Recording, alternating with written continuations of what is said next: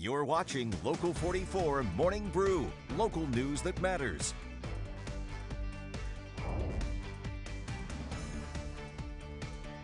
At this place in history, we're in Jeffersonville with Executive Director of the Vermont Historical Society, Steve Perkins. Steve, Vermonters, New Englanders, we love our covered bridges. We're talking about one again today, right? we do, Amanda. We've talked about a lot of covered bridges, but we're in a pretty special place here.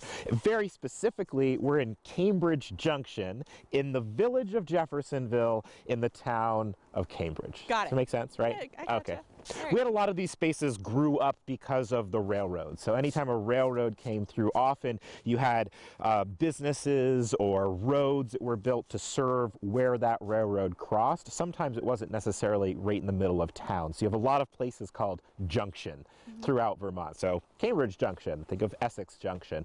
And so where we are right now uh, is where all the railroad came together, but also um, some roads on one side of the Lamoille River and on the other side of the Lamoille River.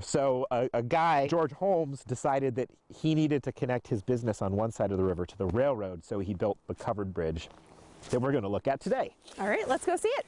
So we've moved inside the bridge now. What's special about this one? So this is a, a different kind of construction. We've looked at a number of bridges on this program, and many of them have been what we call the town lattice truss construction, which was really easy for people to build, kind of the, the layman builder to put together.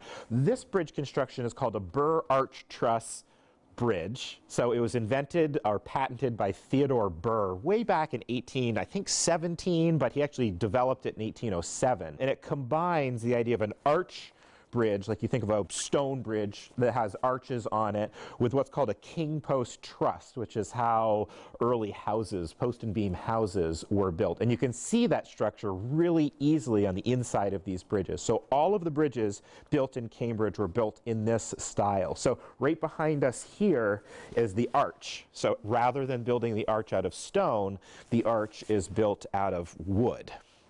And the arch is in two pieces and it's on either side of this framing. And this framing is called king post framing. And so king post means that you have these straight up and down posts that are then supported by beams that come at an angle, almost creating um, triangles. Now, in the past, they built bridges out of just king post truss, and they built bridges certainly out of stone arches. But this guy Burr was the one to put them together. His thought was that the arch supported the road and the truss system supported the bridge over the road.